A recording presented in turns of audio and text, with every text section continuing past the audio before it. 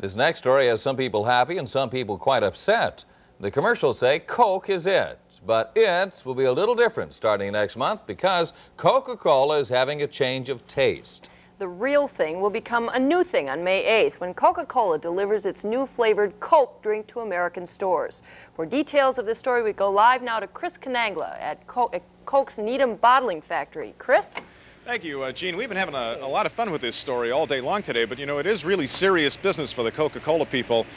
Recent inroads by some competing products, uh, believe it or not, by their own Diet Coke, and uh, their response to uh, what appear to be changing tastes by the American public have led uh, this 99-year-old institution called Coca-Cola to do something about itself. For 99 years, Coke, as I said, has been an American institution since 1886. It's changed little. Its unique formula, a well-guarded secret. Just one factor in the dominance of Coke in the United States and abroad. But the times are changing. Chairman of the board of Coke says they got a new formula by accident. In the process of perfecting Diet Coke, we discovered something else, a new cola formula, a product which our flavor scientists quickly realized was highly preferred by in-house expert taste panels over Coca-Cola itself and, of course, over its primary competition.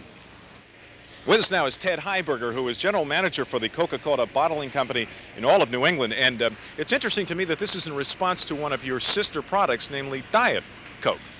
Well, Diet Coke uh, is one of the all-time soft drink successes, and uh, that, as you may have heard Roberto say, uh, one of the ways that we discovered uh, this new formulation for Coke, and, and Diet Coke is one of the true successes in, in our business today. But as successful as Diet Coke it's been, it's been eaten away at the traditional Coke market there are con changing consumer tastes that uh, more people are drinking diet drinks than ever before.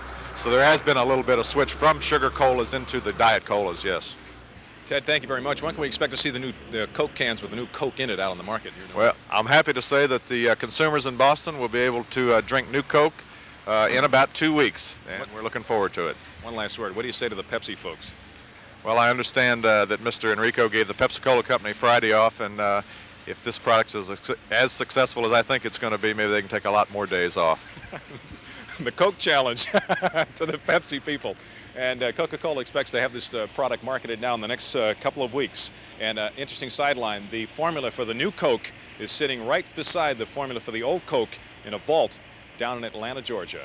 Reporting live from Needham at the Coca-Cola bottling plant, this is Chris Kanangla. Jack, back to you. All right, Chris, hard-hitting story there, all right, but a lot of people very interested, hoping that the new product won't fizzle.